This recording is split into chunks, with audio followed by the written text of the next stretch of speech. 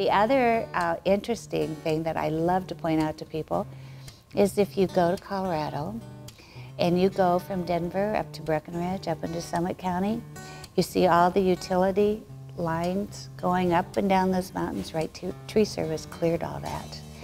They had to fly in horses and mules and the, the people, they helicopter brought them in.